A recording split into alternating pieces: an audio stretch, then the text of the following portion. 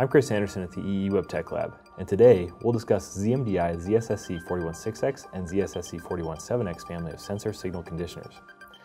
The ZSSC416X and ZSSC417X provide highly accurate amplification and calibrated correction of sensor data for resistive bridge and voltage source sensors. The family features SENT 3.0 based ICs and is designed for use in automotive applications, with available diagnostic info, rugged circuit protection, and excellent electromagnetic compatibility. The family aids designers by lowering power consumption, reducing component count, and saving time spent calibrating sensors. Additionally, the availability of dual bridge inputs also reduces system complexity and footprint. All of these are important considerations in modern automotive applications, where power and space come at a premium.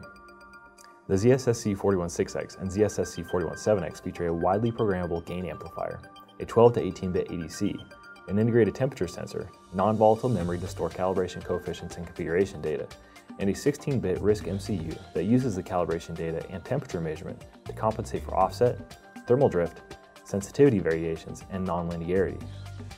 End-of-the-line digital calibration over the I2C or one-wire interface improves calibration accuracy and reduces assembly cost and complexity. So on the evaluation kit for the ZSSC family, we have the communications board, which interfaces between the PC and the IC. We have the actual ZSSC board, which houses the IC, and that's sitting inside this socket. What I really like about this board is ZMDI gives you access to all of the pins. So you can plug in your own sensors, and you get access to the temperature sensor, as well as any other pins that you need to. So you can really evaluate whether or not this is suitable for your, for your application. The third board acts as a pressure sensor. It's really just a potentiometer though.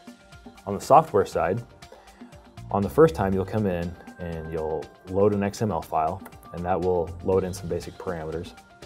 And you can check those in the quick settings and then load those into RAM, write, write all to RAM. And then you'll want to come in here and calibrate your sensors.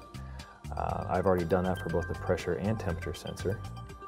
And so those are good to go. I've already written those out. And you can also see that I'm I'm actually running the software now. And so if I adjust the, the potentiometer for the pressure sensor, you can see in green, that's the calibrated measurement, and in blue, the raw measurement. So you can see those adjusting up and down.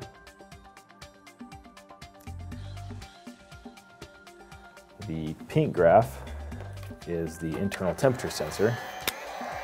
So if I put a heat gun to that, you can see the temperature rise up. Now I'm gonna go ahead and stop. Now what we wanna do is grab this hex version of the temperature data. And actually we're gonna, we're gonna run it again so that we can get a, a fresh version because it's been cooling off, of course. So if we say it's sitting at about 0x2e25, so plug that into the calculator.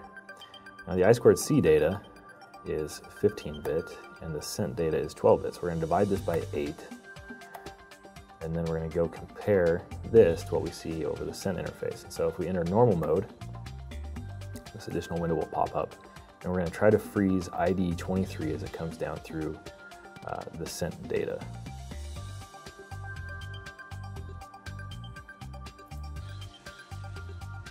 So we can see 05BE, which isn't far off from 5C4. Uh, so that's just a different representation of the data, and you can see some other channels here for the mode data as well. Now there's a couple other options we have here. Uh, as I mentioned earlier, the IC does have some non-volatile memory, so we can go into the NVM status, and you can see that I've committed seven pages, and I have 19 pages remaining. So the next time I plug this in, all my calibration data and all my settings will come back the same. So I won't have to go through that process again. Uh, if I wanted to, I could go back to the quick settings and calibration pages and, and send that data again. Um, but since I haven't changed anything, that would just be burning up some free NVM pages. And if you really want to get into the low-level access, uh, the command console gives you a, a terminal-like interface, and this is talking to the communications board, and through that you can talk to the ZSSC IC. Uh, if I send it a V command, that'll just return the version of firmware that's running on the communications board. ZMDI ZSSC416X and ZSSC417X offer a variety of benefits in sensing applications, especially those in automotive designs. For more information, visit zmdi.com.